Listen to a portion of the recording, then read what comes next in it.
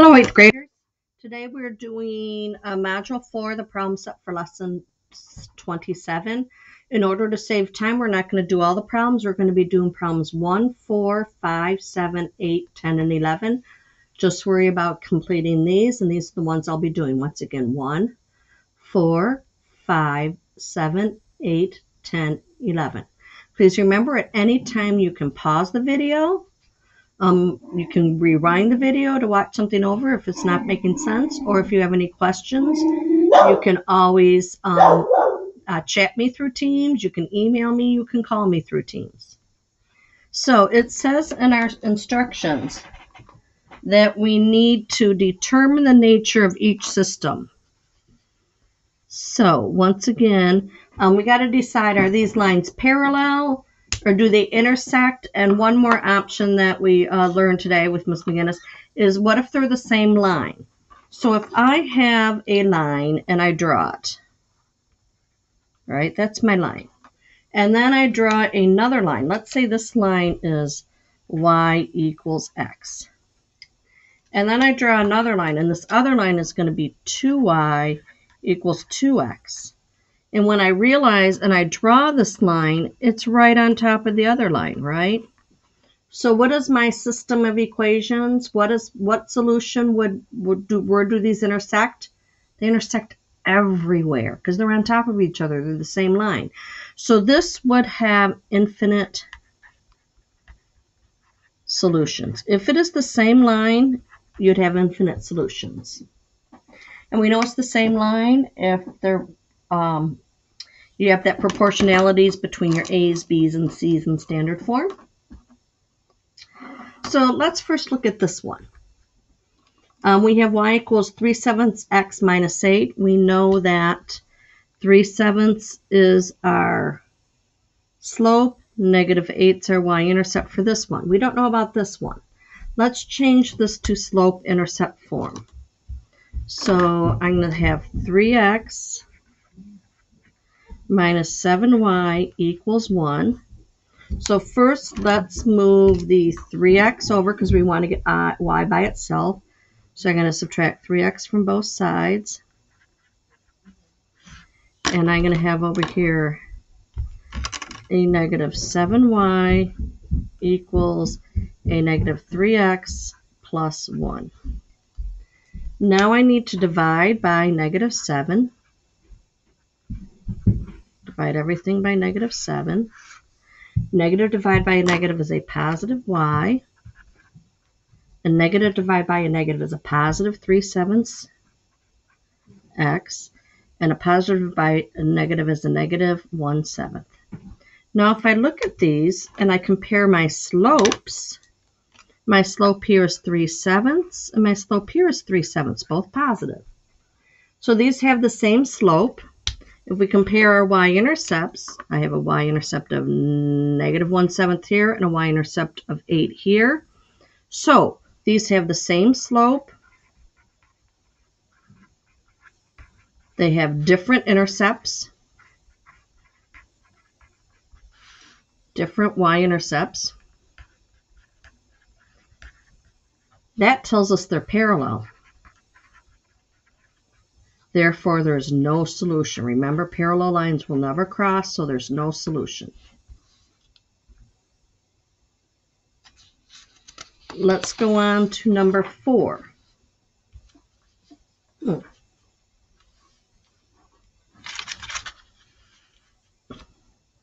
Number four, we have both of these in slope-intercept form with an exception. This really isn't in slope intercept form because we have 5y, and that needs to be just y, doesn't it?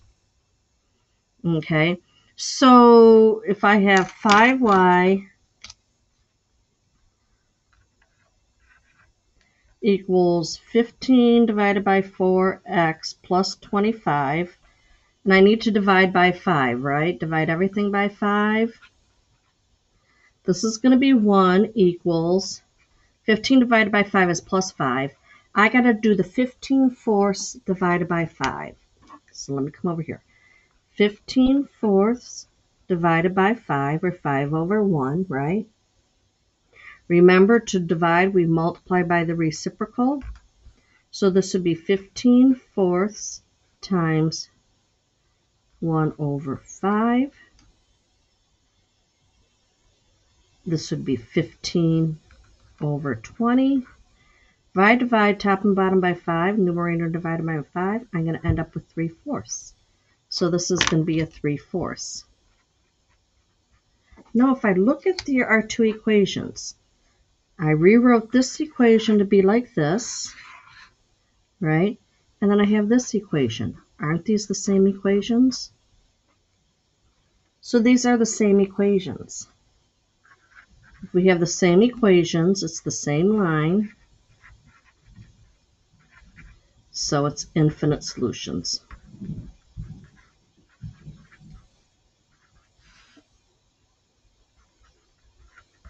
Okay, it was the same line, infinite solutions.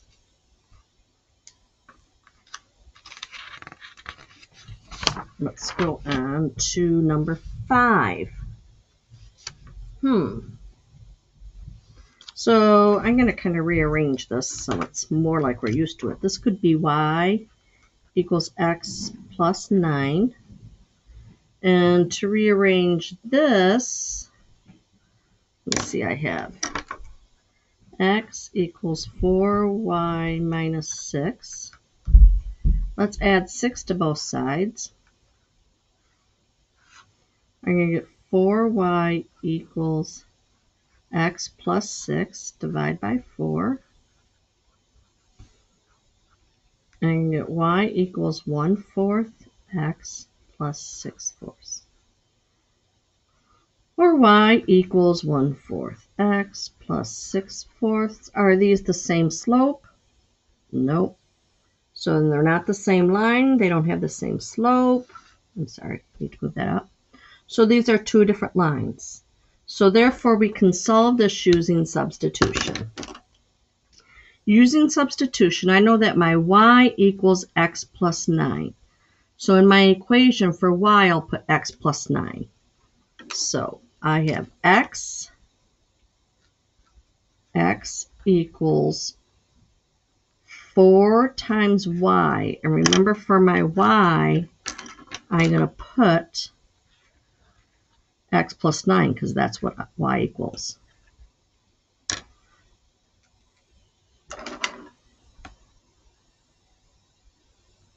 So x equals 4y, x plus 9, minus 6. Let's do our distributive property. Distribute this out. And we're going to have x equals 4x plus 36 minus 6. Well, we combine these like terms here. And we're going to have x equals 4x plus 30.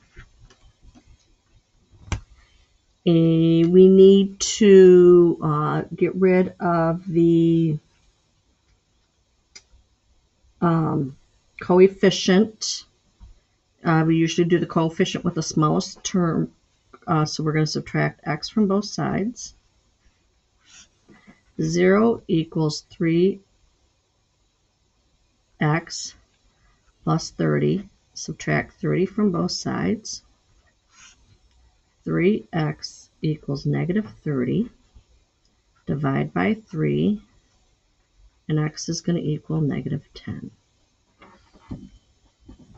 Okay, so x is negative 10, right? x is negative 10. We got to find out what y is. So we're going to come back up here. And we're going to use this equation. x plus 9 equals y. We know x is negative 10, right? So we're going to put negative 10 in for x. Negative 10 plus 9 equals y. Negative 10 plus 9 is negative 1 equals y. So here's our y. So our solution, our xy coordinate would be x is negative 10, y is negative 1. It's a lot of work to get to this one answer. But that's why we're in eighth grade, not first. Let's go on to problem number seven. Um, let's let's look at this. Um, I kind of noticed something here. If I was to take this equation and multiply everything by 2, right? Take this equation and multiply it by 2. So kind of do our distributive property. I'd end up with 6x times 2 would be 12x. Negative 7y times 2 would be minus 14y equals 1 half times 2, 1 half times 2, which would be 2 over 1, should be 2 over 2, which would equal 1, equals 1. Oh, that is the same as this, isn't it? So here we have the same equation.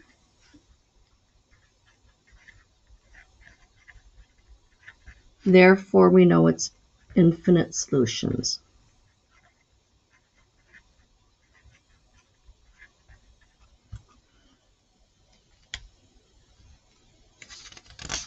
Let's look at number eight.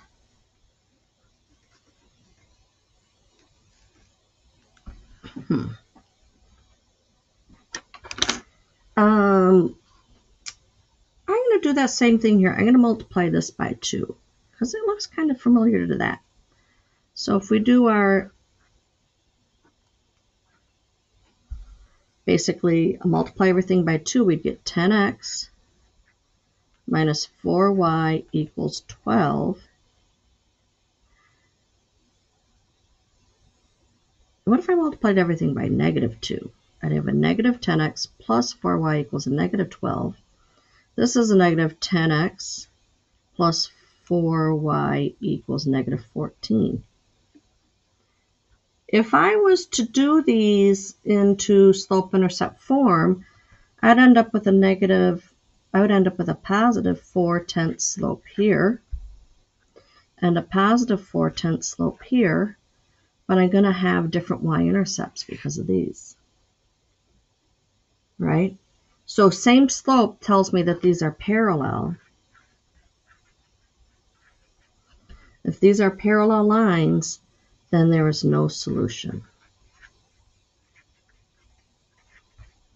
Okay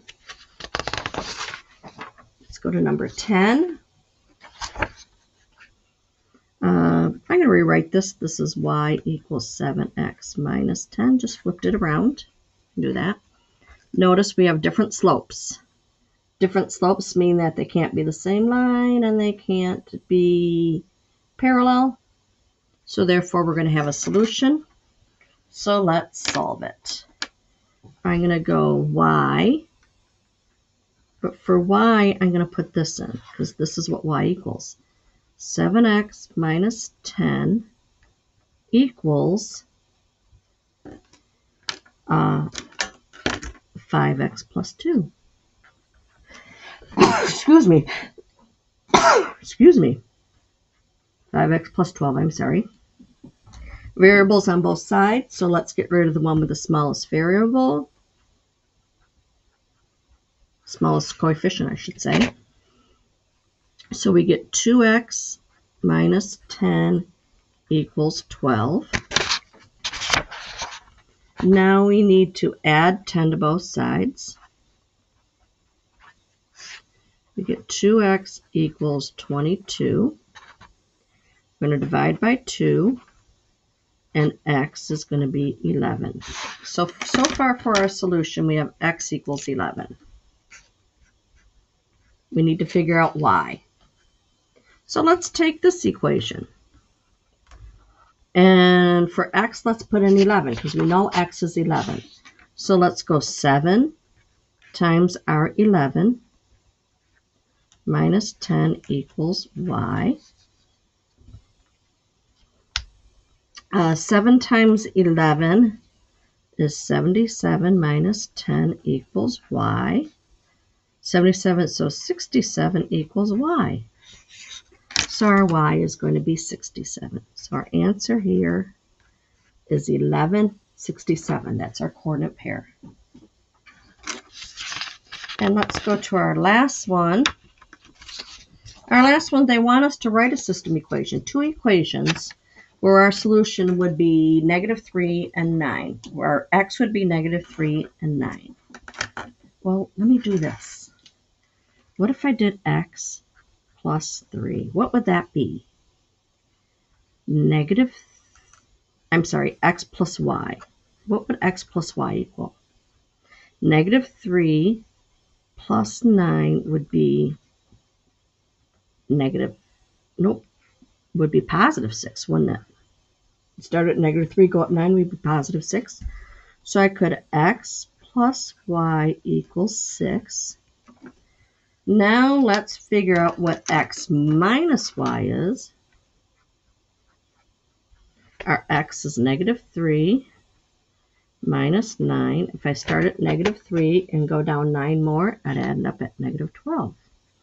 So I can say x minus y is negative 12. And if I use this as my system of equations, then my answer would be negative 3, 9. Have a good day.